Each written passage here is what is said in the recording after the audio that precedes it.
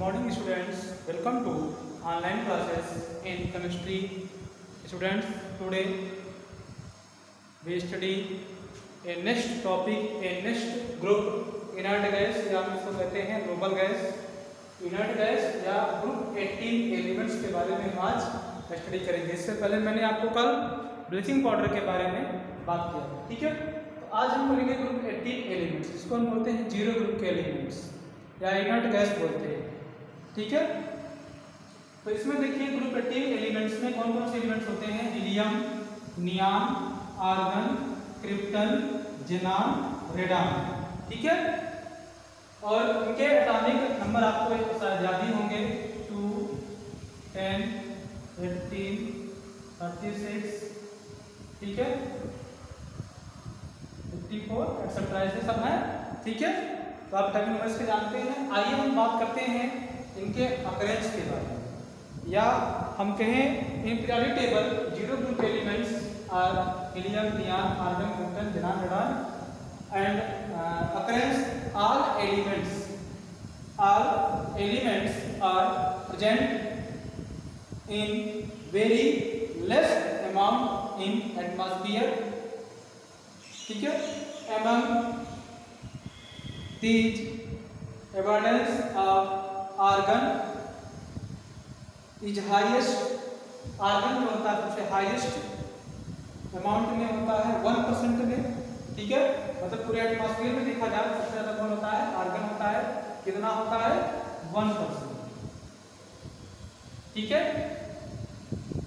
और are these elements are chemically inactive जितने भी एलिमेंट्स हैं, वो कैसे हैं? केमिकली इनएक्टिव होते हैं। Therefore they are also called inert gas इसीलिए इनको क्या कहा जाता है? इनर्ट गैस इनर्ट गैस कहा जाता है। क्योंकि ये क्या है? इनएक्टिव एलिमेंट मतलब ये कंबाइंड स्टेट में नहीं रहते ठीक है? और ये जानते हैं इनके अकरेंस के बारे में। तो students all elements present in very less amount ठीक है? मैंने बताया ही। ठीक है? और देखते हैं अकरेंस के बाद इनकी इलेक्ट्रॉनिक कॉन्फ़िगरेशन इलेक्ट्रॉनिक कॉन्फ़िगरेशन आप करेंगे जब तो देखेंगे आप हीलियम का एटॉमिक नंबर टू होता है तो इसका जो इलेक्ट्रॉनिक कॉन्फ़िगरेशन होगा, वह होगा NH2 ठीक है? और इसके अलावा जितने भी एलिमेंट्स हैं हीलियम के अकॉर्डिंग हीलियम के अलावा neon argon krypton xenon radon जितने भी एलिमेंट्स हैं, उनका जो इलेक्ट्रॉनिक कॉन्फ़िगरेशन का जो नेचर होगा वह होगा NH2 NP6 ठीक है हीलियम के अलावा ये हीलियम है हीलियम के अलावा जितने भी अदर गैसेज हैं उनका जो इलेक्ट्रॉनिक कॉन्फ़िगरेशन होगा NH2NP6 के अकॉर्डिंग होगा uh, क्यों होगा due to their close shell structure और अगर मैं बात करूँ हीलियम की helium is the lightest gas helium क्या है? लाइटेस्ट मतलब बहुत हल्की गैस होती है। आजकल आपने देखा होगा बड़े बड़े गुब्बारों में हीलियम गैस भर के ऊपर किया जाता है। ठीक है? चलिए हम बात करेंगे इनकी प्रॉपर्टी के बारे में, इनकी फ़िज़िकल प्रॉपर्टी पहले हम बात करेंगे इनके फ़िज़िकल प्रॉपर्टी ठीक है? तो फ़िज़िकल प्रॉपर्टी में देखा जाए तो दे आर कलरलेस इनका कोई कलर नहीं होता है। ओडोरलेस कोई गंध भी नहीं होती है। ठीक है? एंड मोनो एटॉमिक गैस और ये कैसे हैं? मोनोटॉमिक मतलब इनके अंदर, इनके पास एक ही एटम होता है। डाई नहीं होते हैं। जैसे ऑक्सीजन का क्या है? डाई है। ऑक्सीजन कभी भी ऐसे नहीं लिखा जाता। हमेशा लिखा जाता है और लेकिन यहाँ हीलियम जो होगा, वह अकेले होगा, नियान जो होगा, वह अकेले होगा। तो ये कैसे हैं? मोनो एटॉमिक है। ठीक है? चलिए, आगे हम बात करते हैं इनकी दूसरी फ़िज़िकल प्रॉपर्टी की। तो दे है हाई आयोनाइजेशन एनर्जी इनके पास आयोनाइजेशन एनर्जी जो होती है, सबसे हाई होती है। ठीक है? Because electronic configuration of noble gas is stable क्योंकि नोबल गैस जितने भी होते हैं, ये कैसे होते हैं स्टेबल होते हैं and their class are fulfilled या कर सकते हैं कि shell are outer shells are ठीक है? इनका जो आउटर सेल होता है वो पूरा भरा होता है। कैसे? नियम का जैसे टेन है। तो नियम का अगर आप बनाएँगे तो ये देखिए न्यूक्लियस है। पहला जो सेल होगा इसमें दो इलेक्ट्रॉन होंगे। मैं यहाँ बना देता हूँ। ये न्यूक्लियस है। पहला जो सेल होगा यहाँ पर दो इलेक्ट्रॉन होंगे। दूसरा जो सेल होगा यहाँ पे कितने इलेक्ट्रॉन होंगे? एट होंगे। ठीक है? एट होने की वजह से कितने हो गए टू और एट टेन तो नियान का जब टेन हो गया इसका जो आउटर मोड सेल है, ये वाला सेल है, ये देखिए क्या है फुलफिल्ड है। ठीक है? फुलफिल्ड होने की वजह से या हम कह सकते हैं स्टेबल होने की वजह से इनकी एनर्जी क्या होती है? सबसे हाई होती है। क्लियर हुआ? आइए आगे बात करते हैं हम। इनकी नेक्स्ट फ़िज़िकल प्रॉपर्टी की दियर इलेक्ट्रॉन गेन इलेक्ट्रॉन देने वाले electron gain enthalpy value is more positive ठीक है? And next property physical property for noble gas for noble gas CP Mayer का फॉर्मूला था सीपी अपॉन सीवी इज़ 1.66 ठीक है? ये वैल्यू मैं ऐसे बता दे रहा हूँ, निकालना, निकालने की ज़रूरत नहीं है अभी। ठीक है? और आगे हम बात करें इनकी केमिकल प्रॉपर्टी की तो केमिकल प्रॉपर्टी में ये तो किसी से कंबाइन तो नहीं करते हैं, ठीक है? लेकिन कुछ प्रॉपर्टी इनकी होती है, उसको आइए हम जान लेते हैं, ठीक है? तो केमिकल प्रॉपर्टी में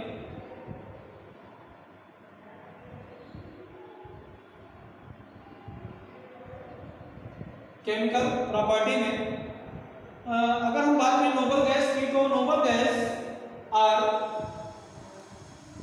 least reactive noble gas are the least reactive ये बहुत कम ही रिएक्शन करते हैं due to fully filled valence shell ठीक है? क्योंकि इनका बैलेंस जो सेल होता है वो फुली फिल्ड होता है। ठीक है?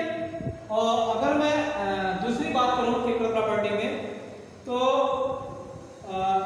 क्रिप्टन, इसमें जो एक एलिमेंट है, क्रिप्टन।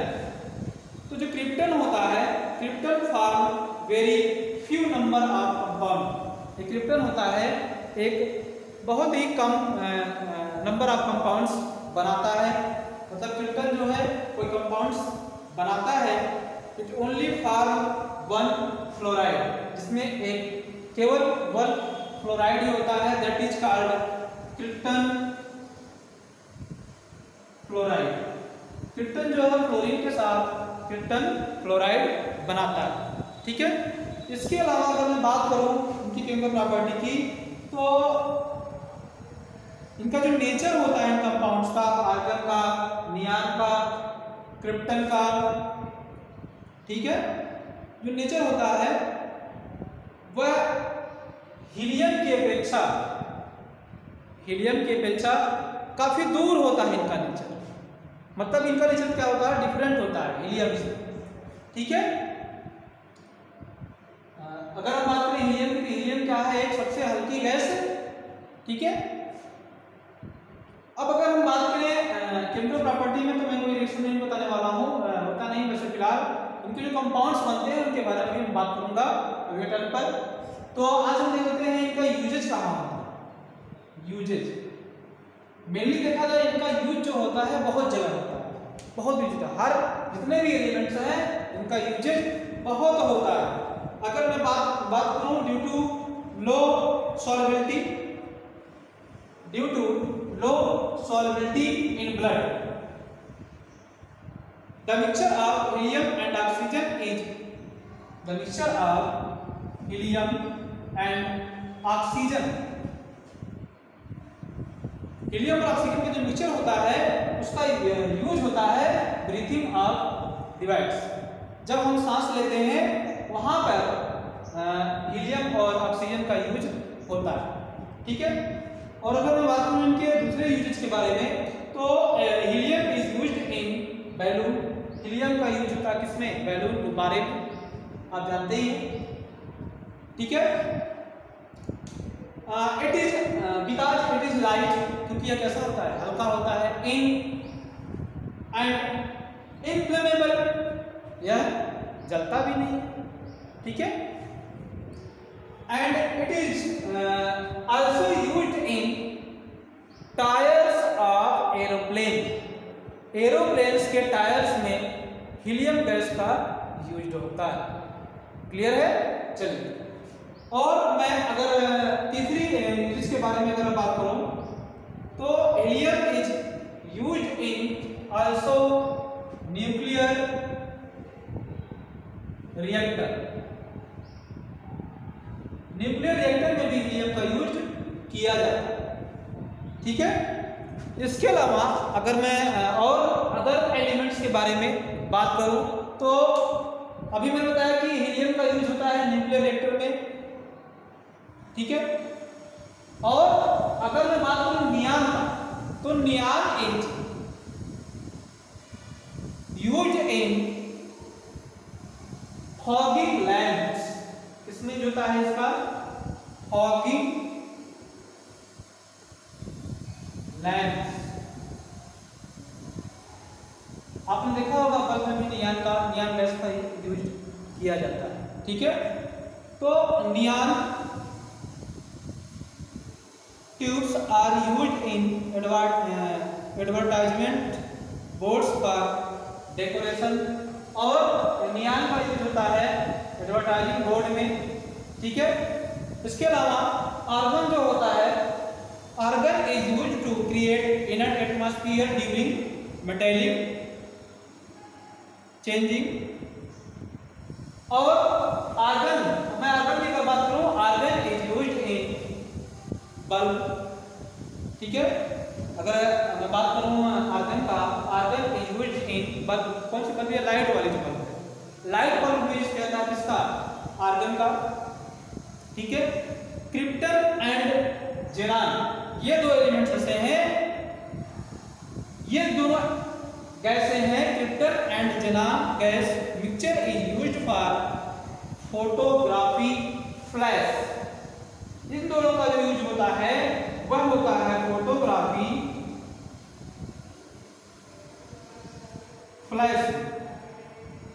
फोटोग्राफी फ्लैश में इनका यूज़ किया जाता है। जब फोटोग्राफी होती है, फ्लैश लाइट जब जलाई जाती है, तब यहाँ पे किसका यूज़ होता है? क्रिप्टन एंड जेनान इसके बाद अगर मैं बात करूँ, क्रिप्टन रेडान का radon is used in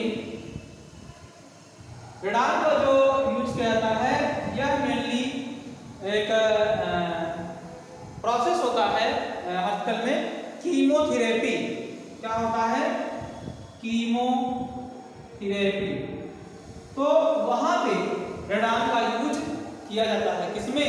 chemotherapy तो आज मैंने आपको बताया ग्रीनहाउस गैस के बारे में, इनका अकलेंस इनका physical property chemical property and usages अब कब मैं इसके आगे बात करूँगा कंपाउंड्स ऑफ़ जेनान की and compounds of xenon oxygen तब तक के लिए पढ़ते रहिए. Thank you